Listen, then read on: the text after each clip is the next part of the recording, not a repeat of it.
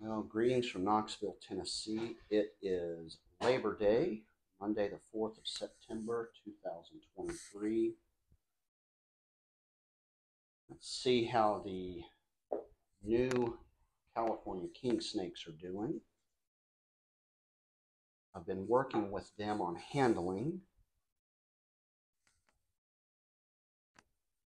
to get them to stop musking.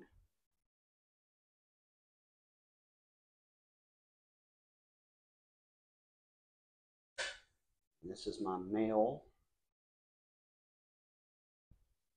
Is a Jawbone Canyon, California locale.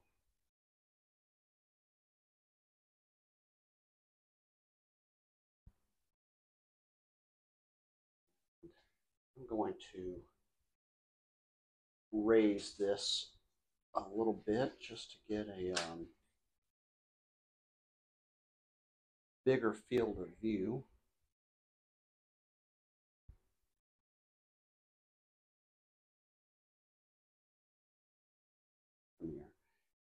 And if you come underneath, that doesn't seem to disturb them.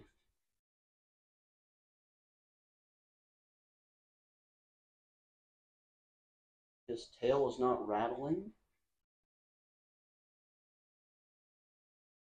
Can't see his cloaca, but I don't think it's open. What a beautiful, beautiful snake.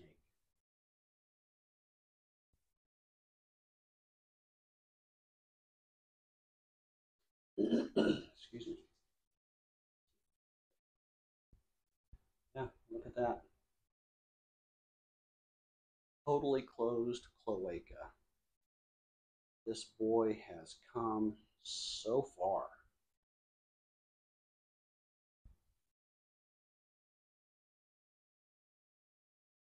Let's get his future mate out and see how she's doing. All right, so this is Ranger. And she's an unspecified locale. But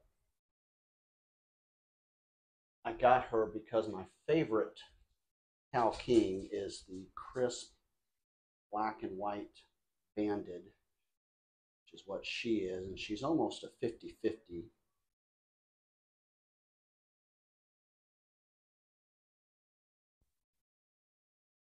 I've had her a little longer than Canyon.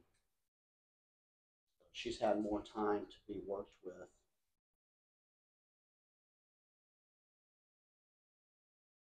Lake is barely open, so I'll take that.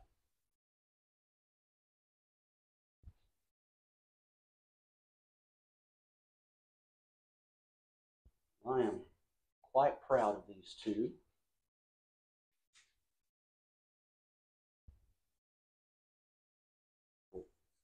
Carrier behind me wanting so much to get out these.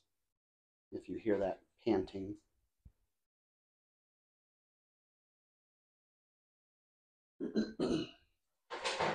so if you have a new king snake or milk snake, and the babies. Uh, watch my other videos on taming baby snakes. You can see the progression from spraying musk everywhere to how they are now. It just takes patience and a willingness to get musked and pooped on and bitten. But if you're patient and you work with them consistently, it will pay off. And the good thing is the the bigger they get, the less prone they are to musking. So it's it's both of those things. They're gaining confidence, but if you work with them when they're babies, they'll start to get used to you as they grow.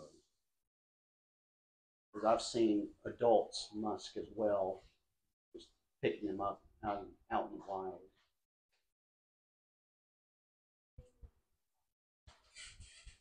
There's Raylan. hey, bud. As I always like to do, I like to end these sessions on a positive note for the snake. Sorry, my elbow hit the stand. So we'll put her back.